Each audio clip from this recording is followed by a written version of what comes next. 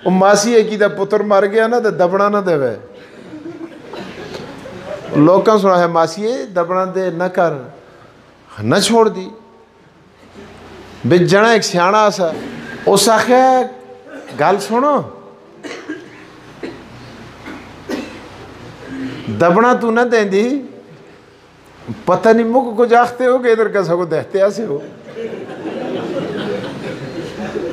दबना तू न देंदी दबना न दी और तुसा को मैं ना छोड़ता तुसा अंदर देख के ही तकरीर कर सक। आँखों आँखों में इशारे हो गए। हम तुम्हारे और तुम हमारे हो गए।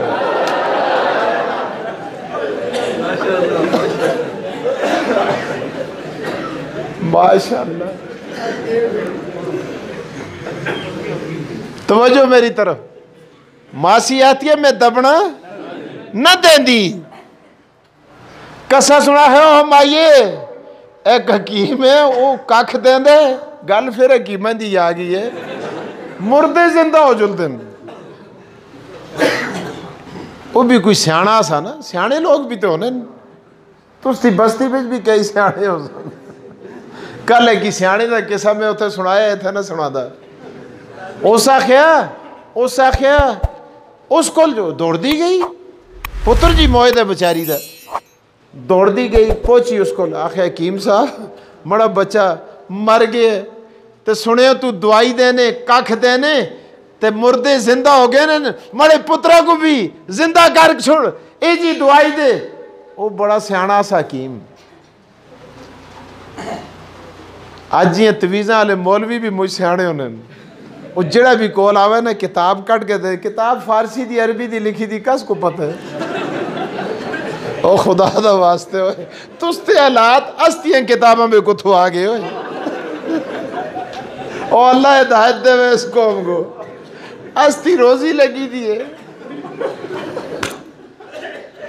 कहा लोगों ने जाके रिपट लिखवाई है थाने में कि अकबर नाम लेता है खुदा का इस जमाने में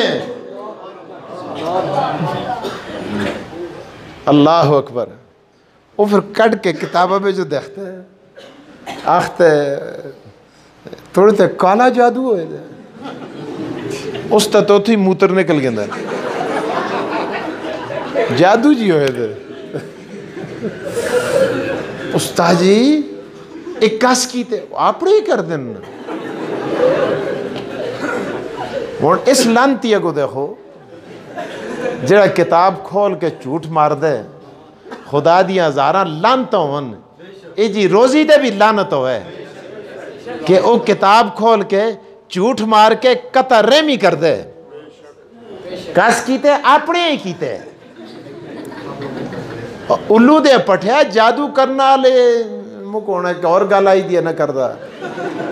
कोई दम पाओ मौली साहब, बड़े मस्त है। जादू करने वाला जदू जादू करता ना दोते जादू करता ना, जादू।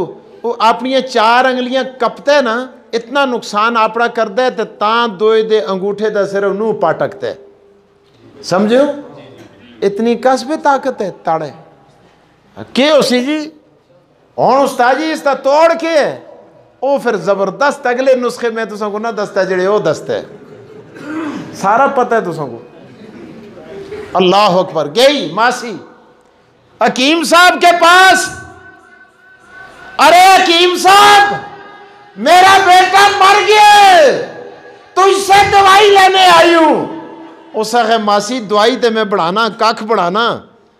बरे ये जे त्रे चो घर बिचो पानी के ना जिथे कोई मरिया ना हो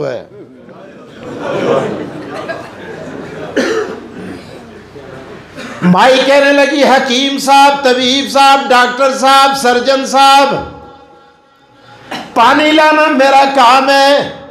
ताज़ा ताज़ा बात थी, आदमी समझता नहीं है।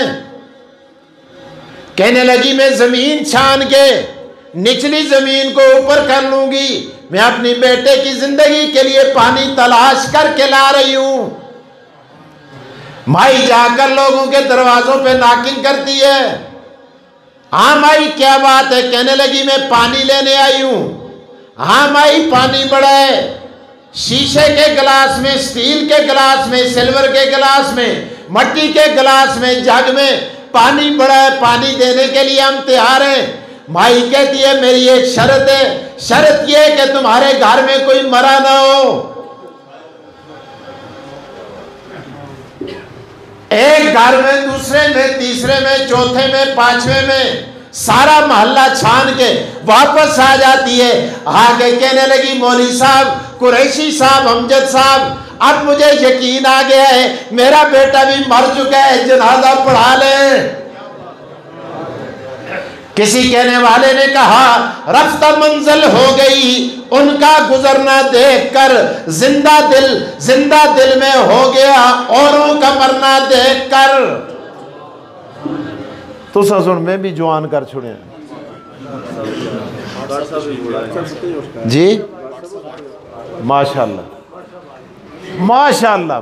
नारे तकबीर। देखो, मैं वली आ के ना। इतने बड़े नाथखाना को मैं मोड़ के कहना है। इतने बड़े कोल आओ। इतने आओ भाईजान तुम फिर ना मनते ये बड़ी करामत है। वरना नाथ खान मलाने की तकरीर नहीं सुन दिया तेन सुन सुन के कन पक के न की तकरीर याद होती है मलाने को। वही मोड़ मोड़ कर दे तो इन्होंने को कोई पूछे तुम जी एक नाथ मोड़ मोड़ के पढ़ते हो? हूँ भी आहो, ला खोला वाला कुत माशाल्लाह, दोनों के लिए अल्हम्दुलिल्लाह। माशाल्लाह।